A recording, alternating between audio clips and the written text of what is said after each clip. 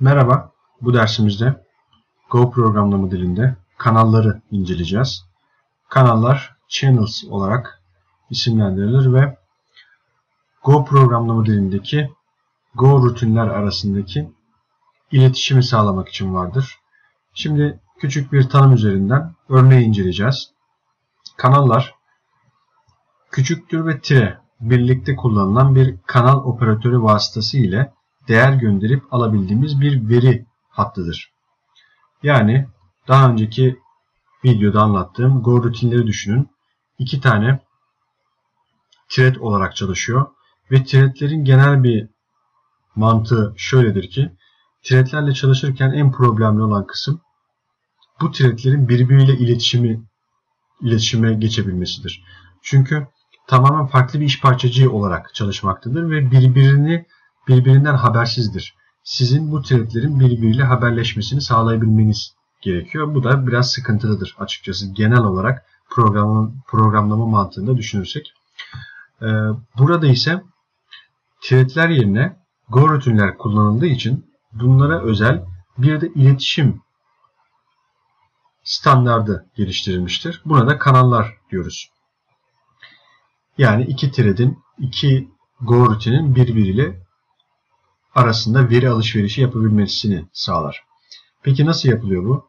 Öncelikle CH standart olarak bir kanal e, tanımı olarak yapılır Go programlama dilinde. CH küçüktür tire V dediğimizde V value value içerisinde bir değer saklıyor.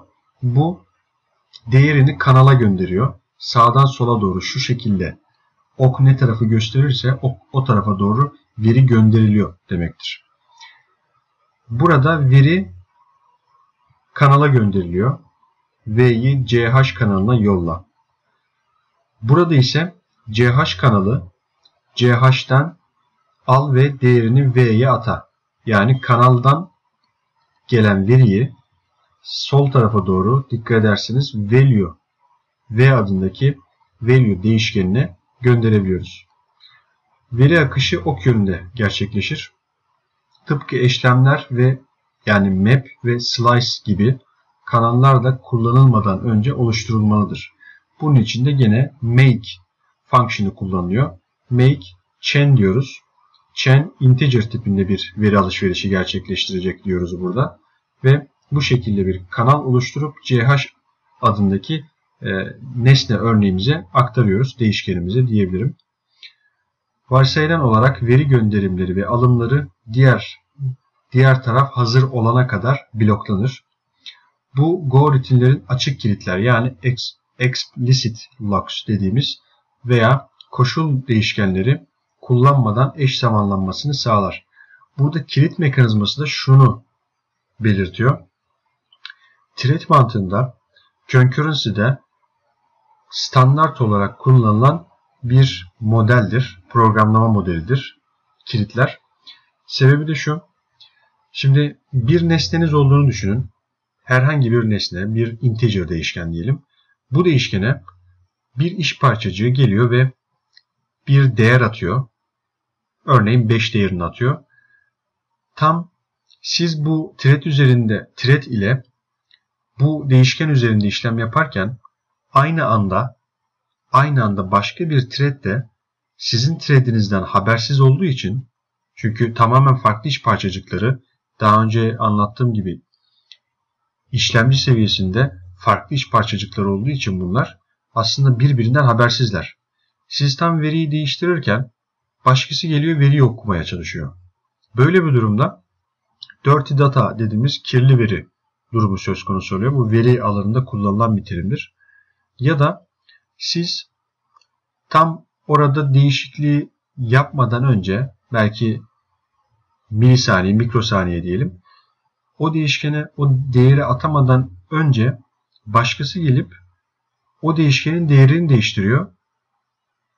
O de değerini değiştiren thread buradaki değeri 5 zannediyor. Siz de tam o anda geldiniz değerini değiştirip 3 yaptınız diyelim. Bu sefer diğer thread halen 5 zannettiği için oradan değer okumaya devam ediyor ama halbuki değeri değiştirildi farklı bir thread tarafından. Ama haberi yok.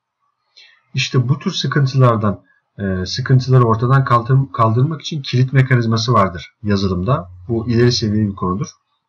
Siz bir threadle gelip bir nesne üzerinde işlem yaparken yaparken diyorum yaptığınızda değil yaparken oraya bir kilit ataması gerçekleştirilir ve o nesne o değişken herhangi bir nesne sizin threadinize iş yapacak şekilde kilitlenir. Yani diğer threadler sizin işiniz bitmeden bu, bu nesne üzerinde bir işlem yapamaz. Sizin işiniz bittiğinde o nesneyle ondan sonra ancak kilit açılır. Lock diyoruz buna. Kilit açılır. Ondan sonra da diğer threadler e, burada işlem yapmaya devam edebilir. Burada da birden fazla thread'in tek bir nesne üzerinde çalışabilmesini sağlamak amaçlanmıştır diyebiliriz. Şimdi burada da kilit konusu e, açıldığı için bunu anlatmak istedim. Şimdi sağ tarafta bir örnek var. Bu örnek aslında orijinalinde farklı. Şöyle göstereyim. Ben şimdi burayı kopyaladım. E, sıfırla dediğim zaman bakın şu şekilde bir örnek. Siz de bu şekilde göreceksiniz. İki tane sum function'ı çağrılıyor burada. Ama şuralar kafanızı karıştırabilir. Hani hesap yapmanızı zorlaştırır. Buradaki sayılar da aynı şekilde hesap yapmanızı zorlaştıracaktır. O yüzden ben bunu değiştirdim biraz. E, bir tanesini kaldırdım. Şuradaki e, slice kullanımını da biraz değiştirdim. Ve sayılarını azalttım. Şu şekle getirdim. Bu şekilde inceleyeceğiz. Şimdi buradaki örneğimizde sum diye bir function var. Dışarıdan integer dizisi alıyor. Ve bir de kanal alıyor. Integer tipinde bir channel. Bunun da adı C. İçeride yaptığı işlem aslında çok basit. Sum eşittir 0 eşitliyor bu değişkeni. Sonra for döngüsüyle dışarıdan gelen s'i bir range for range'e e, tabi tutuyor. Bir döngü içerisinde.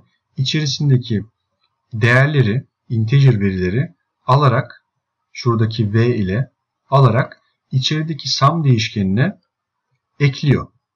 Bakın artı eşittir yapıyor. Yani toplama işlemi var.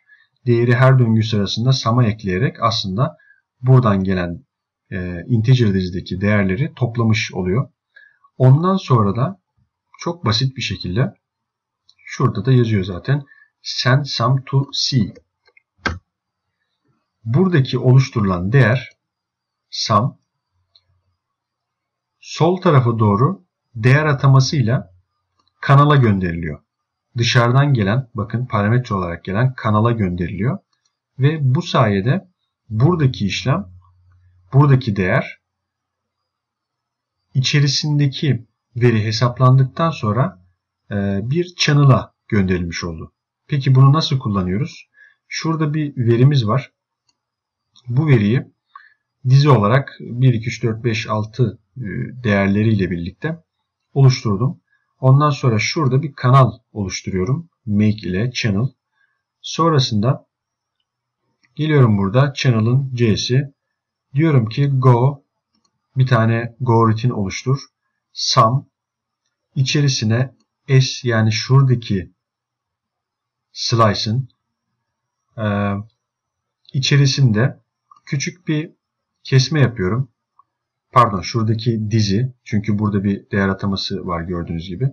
Buradaki dizi içerisinde bir slice kesme oluşturuyorum ve diyorum ki sıfırdan başlayan bütün elemanları almak istiyorum ben burada. Bunun özeti budur. Şuranın.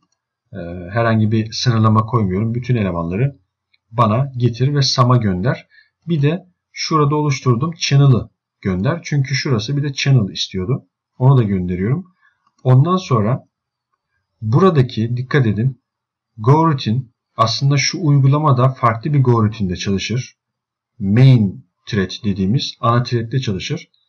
Bunun içerisinde de biz yeni bir GoRoutine oluşturuyoruz ve diyoruz ki bunun içerisinde işlemi yap. İşlemi yaptıktan sonra sonucunu şu kanala ata. Ben de onu şu oluşturduğum kanal üzerinden elde edeceğim. Ve Dikkat ederseniz şuradaki C'ye içerideki sum atanıyor ve ben de burada bunu elde edip ondan sonra da sola doğru dikkat edin ok yönünü. Sola doğru bu kanalın verisini x'e atamak istiyorum. Şimdi çalıştırıyorum bunu. Bakın yukarıdaki integer dizisinin değerlerini toplayarak x'e atadı ve onu da ekrana yazdı. Şimdi buna küçük bir ekleme daha yapayım. Şuradaki GoSum'ı yeni bir Go rutin daha oluşturmak için kopyaladım. Bu sefer S'in uzunluğu bölü 2 diyerek ekstra bir bölme işlemi yapacağım burada.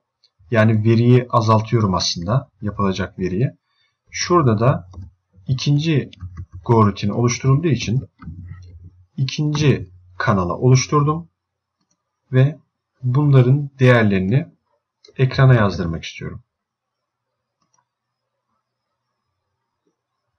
Bakın bunun içerisinde e, elemanları ilk önce topladı.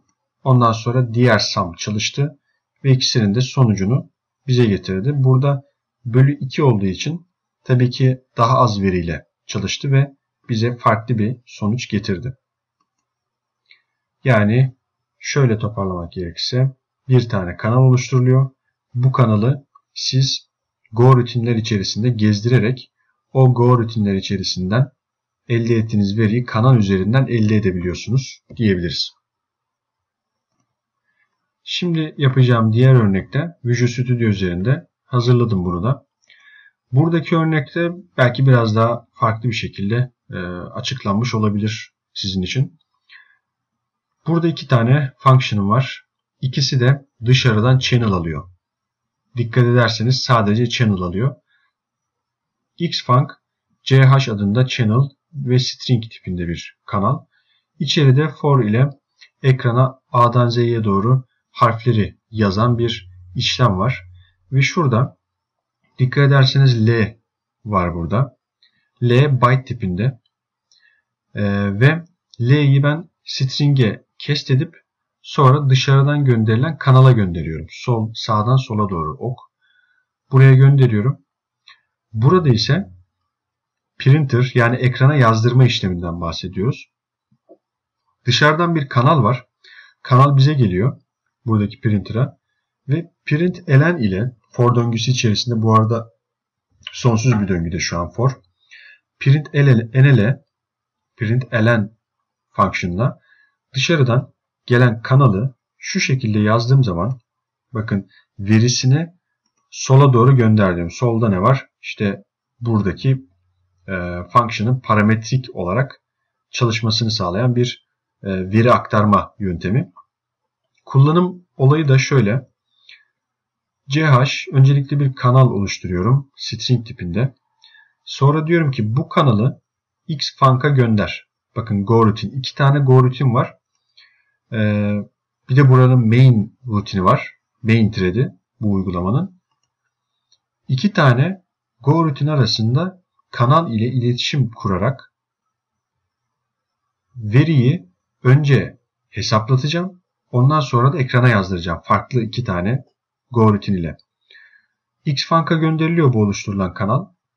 Burada byte olan nesneyi, veriyi string'e dönüştürüp kanala gönderiyorum tekrar. Bu boru hattına gönderiyorum. Diyorum ki ben bunu hesapladım. Al boru.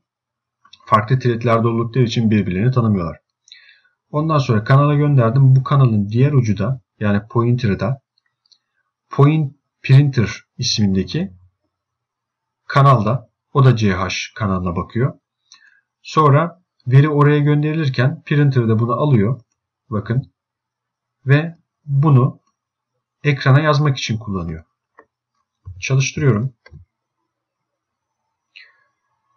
Bakın A'dan Z'ye doğru listelendi. Peki bu veriyi oluşturan kimdi? X funk'ın kendisiydi. Peki burada yazma işlemi yok. Print elen. Onu kim yaptı? Tabii ki printer. Printer fonksiyonu bunu gerçekleştirdi. Bu da aslında e, iki go arasında, iki function arasında e, kalan kanal özelliğini anlamak için bence uygun bir örnek oldu diye düşünüyorum.